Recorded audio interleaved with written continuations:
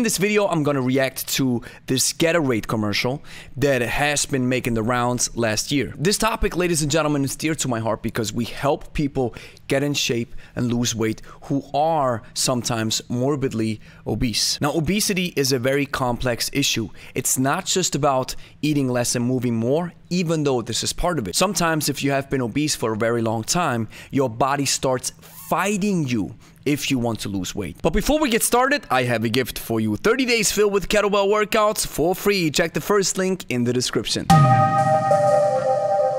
Grüezi Gregory von Lebe Stark here. If you're new to this channel, we're all about kettlebells, and sometimes I do reactions on particular fitness topics. So let's jump right into the video. So I'm gonna play this without music because I don't wanna get a copyright strike. So here we see a fit guy, a lean woman, and here's the morbidly obese woman in question.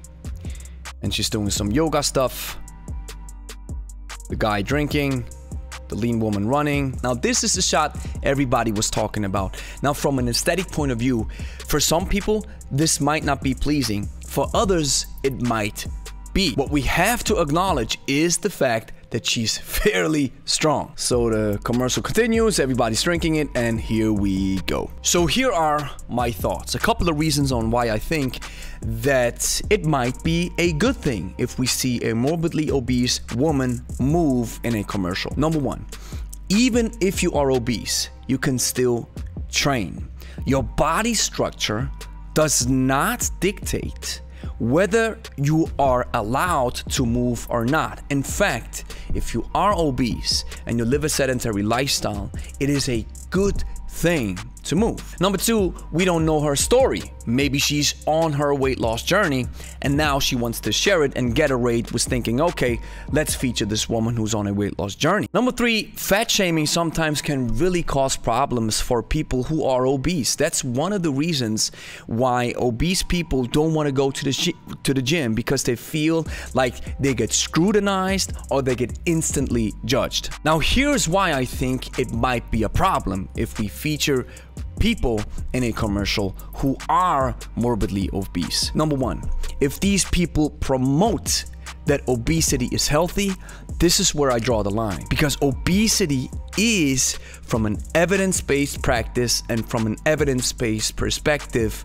a serious problem that can cause major issues with your body down the road. Number two, it is a big problem if obesity gets glorified for corporate interests. We know that businesses don't really care about your feelings or about a weight loss journey, for example. I've mentioned this earlier that this might be a reason why Gatorade picked her up. Probably in reality, they don't really care about any of this.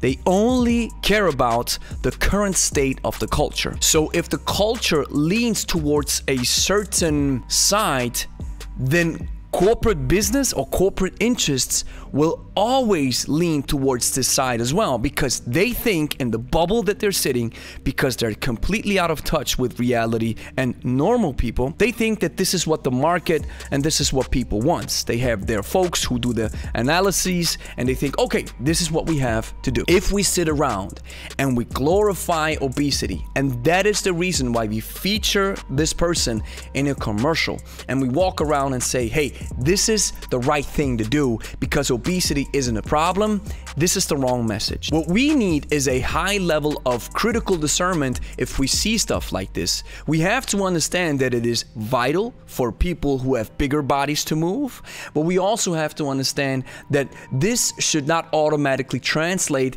into thinking that obesity is a good thing and that it and that it doesn't cause any problems. The last thing that I want to show you is this interesting comment that I've highlighted right here from Brian Woomer. He says, a society that mocks a fat person for going to the gym is gross. I agree. However, it is morally required for a society to mock a fat fitness model or fitness instructor, much like you don't want illiterate people teaching others to read. Now, while I agree with the sentiment of this statement, we should change it to a certain extent.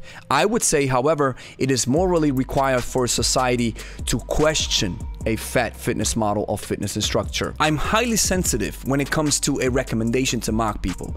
I don't think that this is the right way. I have seen biggest loser coaches mock their participants. And this really gets my blood boiling. People like us who are in a strong position shouldn't use our strength to push or press others down. We should use our strength to pull others up. And finally, what we also have to acknowledge is that the commercial represents reality to a certain extent. Do we really believe the illusion that the gym features only healthy, six pack rocking lean folks. No, you also have normal people who go to the gym or who train, and maybe they are a little bit overweight and maybe they are morbidly obese, and then you have the lean folks. So we all come together because there's one thing that we want to do move and train our bodies. Then here's the next thing that you have to do you have to like the video, consider subscribing, share this video with a friend, and then go watch this video. This was the reaction